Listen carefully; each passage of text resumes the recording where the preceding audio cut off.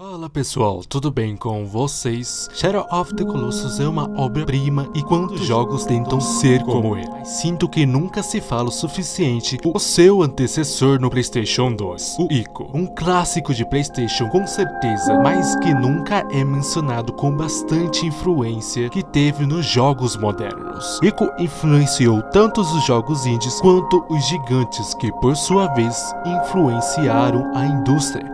Mas antes de falarmos sobre a influência de Ico, vamos entender melhor o que é Ico e o que torna incrível.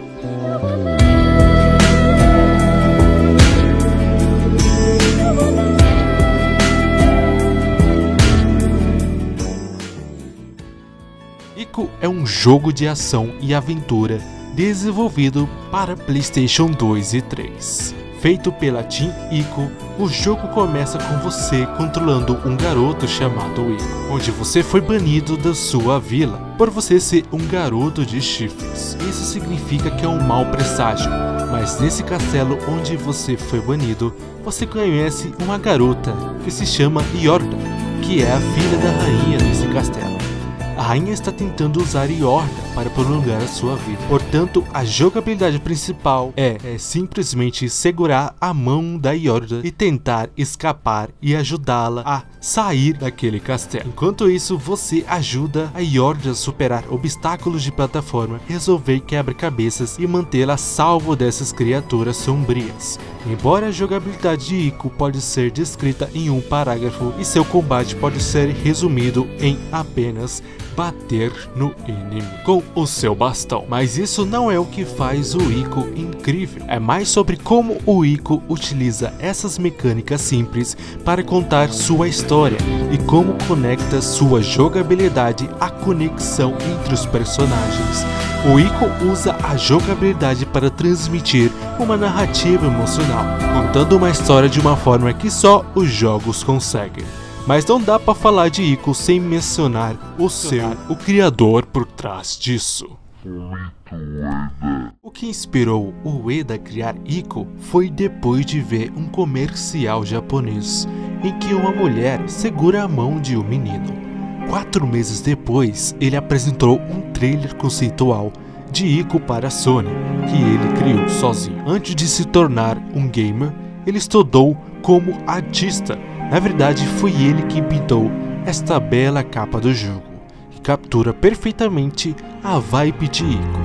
Aqui no ocidente, digamos apenas que eles não usaram essa capa, mas acredito que a formação artística do Eda é o que torna o estilo estético do Ico ainda atual. Depois que saímos daquela era dos jogos em que todos tentavam ser sombrios, sérios e realistas, especificamente da cor marrom, as pessoas olham para esses jogos escuros e pensam que não podem ser bonitos, que é preciso ter cores vibrantes para parecer interessantes. Mas acho que Ico mostra claramente porque isso não é verdade.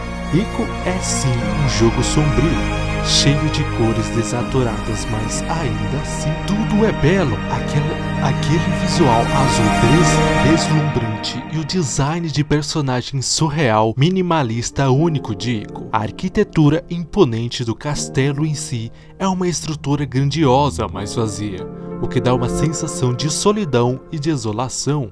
É a forma como a arquitetura é projetada, conta uma história uma história antiga. Quando você está dentro do castelo explorando, a câmera fixa e limitada permite que você olhe ao redor, mas apenas o suficiente para perceber o quão mais altos são os tetos em relação a você. A escala faz você se sentir minúsculo e pequeno, o que só aumenta a atmosfera opressiva do castelo, mas também desperta ainda mais o desejo de explorar. A atmosfera do Ico é completamente única. Não há muitos jogos que proporcionam a mesma sensação. O mundo surreal, cheio de simbolismo e mistério, a música também desempenha um papel muito importante na criação dessa atmosfera. A trilha sonora é minimalista, mas evocativa, complementando perfeitamente as emoções e a ambientação do jogo. e com uma experiência que vai além dos gráficos e da jogabilidade.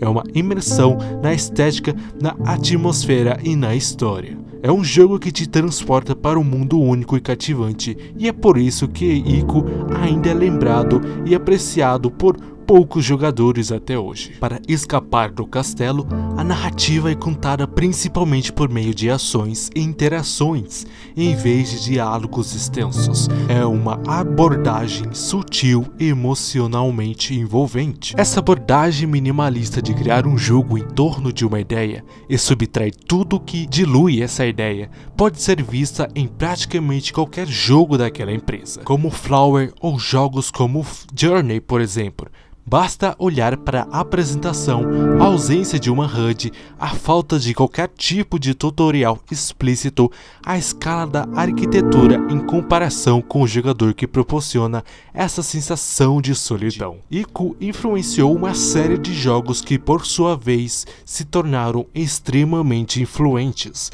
Você pode ver partes dos princípios de Ico em diversos jogos da indústria, como Halo 4, God of War, Bioshock Infinite, Half-Life e praticamente qualquer jogo a partir desse período que tenha mecânicas de companheirismo. É possível encontrar influências em até mesmo membros da equipe da Naughty Dog sobre a influência de Ico em The Last of Us, especialmente nos ambientes solitários e na conexão entre Ellie e Joel. Mas acho que Neil Druckmann disse o melhor com esta citação.